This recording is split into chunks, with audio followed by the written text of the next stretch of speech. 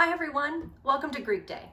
My name is Genneva, and in my 11 years of volunteering at Camp Agape, Greek Day is always my favorite. So welcome to the Greek family.